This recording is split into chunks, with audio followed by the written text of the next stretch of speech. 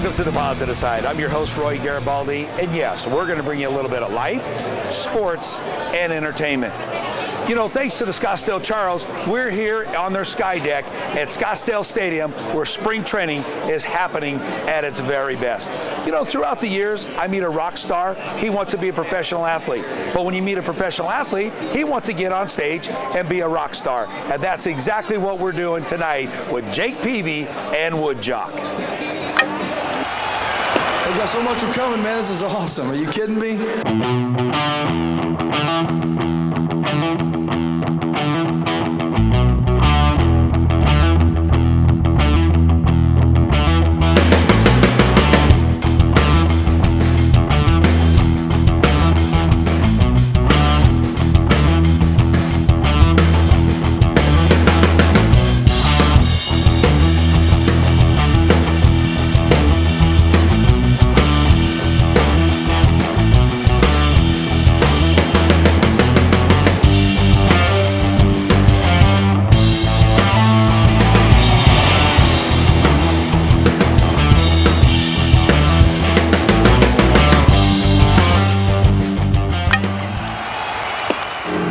You know, it's not very often you see me get excited after covering entertainers and athletes all over all these years.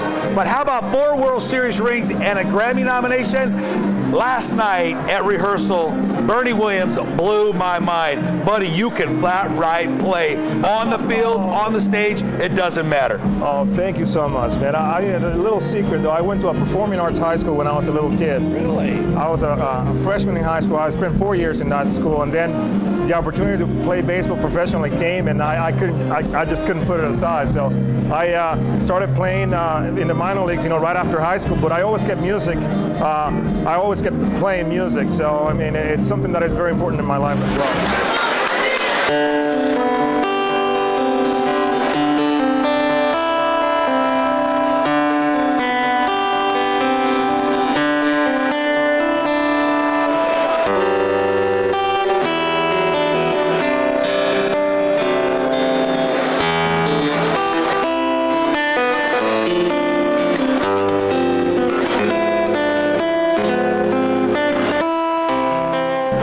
Grammy nomination. We talk about you, not only four World Series rings, you went to the World Series six times, but a Grammy nomination. What was that feeling like? Uh, first of all, I didn't believe it though. At first, you know, I thought they were, you know, they were like uh, uh, trying to pull my leg. But uh, actually, it's a, a Latin Grammy nomination that was uh, uh, from my album uh, called "Moving Forward," which came out last April. And you know, we had a great production. You know, a, killer band playing behind me. You know, mo- mo- most of composition, almost all the compositions are original tunes, and we got a little reharmonization of "Take Me Out to the Ball Game" and all that stuff. But I mean, it, it's a, it was a great experience, and it's, it's something that I've been wanting to do for a long time. Mr. Bernie Williams.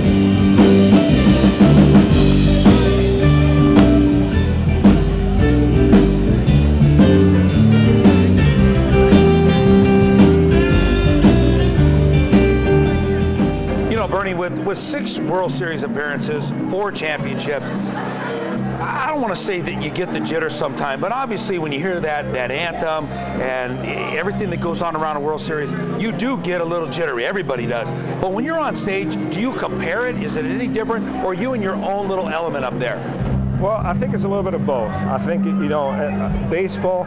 Uh, it's uh, very interesting in the sense that you could go out there and do your business, you know, and then go throw the ball, hit the ball, and, and do whatever, and you don't have to interact you with the. sound so easy. You know, but, but you don't have to say it. interact with the Yeah. crowd, though. As long as you are, you know, completely focused on your game, and uh, you know, you, you take care of your business, you don't really have to interact with the fans. As a performer in, in music, you know, being on stage, you know, playing with your band and playing with your music, you have to engage the crowd. You have to talk about the songs. You know, you have to invite them into your world. You know, you have to be. Uh, uh, you can't just go out there and play the songs and just you know shut up.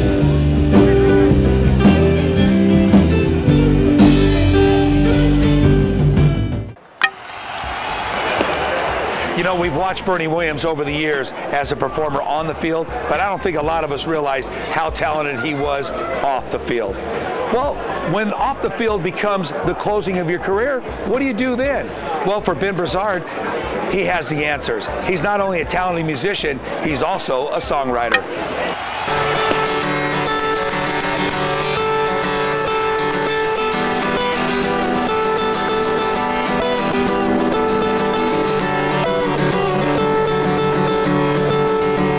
Squirrel freedom place I take escape, self-inducing pain, soothe my brittle bone. One of the things I will tell you about Ben, when he is on stage, he is performing as if he has been performing, like say, you know, maybe uh, Garth Brooks or maybe, uh, you know, Montgomery Gentry, anything like that. You actually handle yourself as if you've been on stage performing your whole life and never were a professional athlete. Seriously. I guess those are some good names you compare me to. Yeah, I, I think it's. Uh, yeah, I'm real comfortable when I'm playing my guitar. So when I get up there, it's. So you feel at home then? Yeah, I, I don't. I don't feel nervous, and I, you know, I think maybe because of baseball too. You know, you learn how to kind of control your nerves and just go up there and you know do your best. I mean, that's all you can do. If, if it doesn't work out, then you know there's always tomorrow in baseball. Music's a little different. You know.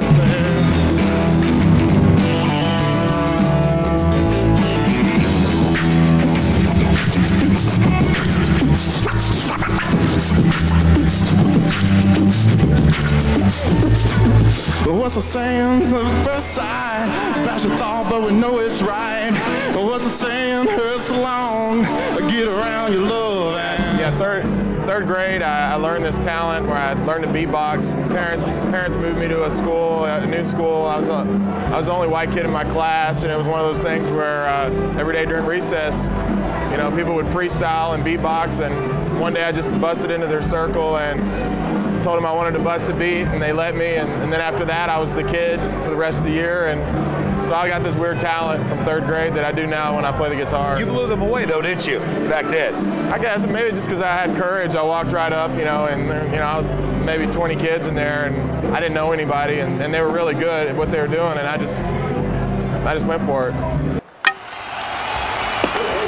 Well, as you can see, this is what spring training is all about to us. Coming to Arizona and getting some good sunshine and some great baseball. But what do the players do when they go home? Well, for some of these players during spring training, it was all about going to rehearsal the night before that big performance with Jake Peavy and Woodjock. Georgia, he was looking for a soul steal. He was in a bind, he was way behind, he was looking to make a deal. When he came across this young man's song, I feeling him playing it hot.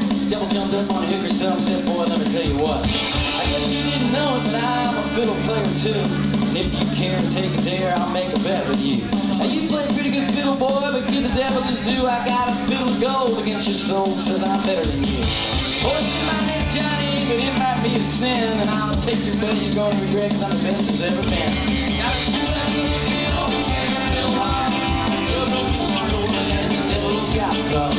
If you you get the shot, and fiddle and lose, the devil gets your soul.